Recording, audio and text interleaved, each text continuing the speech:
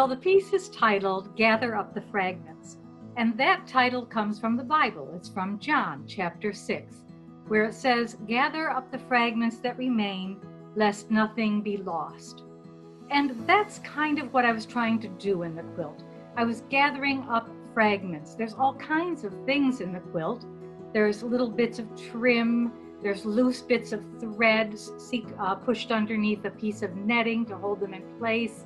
There's all kinds of fabrics. There's even digital photos in there. And certainly there's cut up paintings. So a lot of fragments gathered together to express this story. I saw three paintings of women's faces, and the paintings weren't treated very well. They were out of their stretchers, they were cracked and bent up, and they were stuck into the door of a van and they were selling them for three paintings for $10.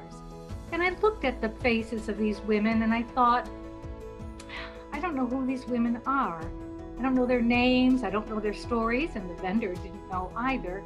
So the idea of looking for the antique quilt that I didn't know the story of and the painting that I didn't know the story of came together into an idea that I wanted to tell the story of quilters of the past, because even though I do consider myself an art quilter, I consider myself um, a continuation of tradition.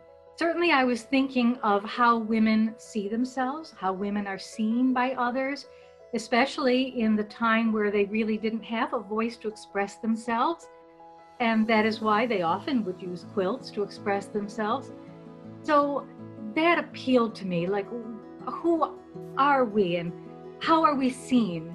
I, th- I think there's a lot of ideas of memory in the quilt, and I think it's got elements of a Victorian crazy quilt. So I think they might think about that I'm romantic, and I hope that they would think that I am an artist, that even though the quilt may resemble the sort of thing that someone might put on their beds, this artist must have had a different purpose for this piece. I don't know these women and I don't know their stories. So, and it's all about memory. And so I think maybe the holes in the quilt mean that there's something in these women's lives that I don't know, that maybe they are not willing to tell me, or maybe they don't remember.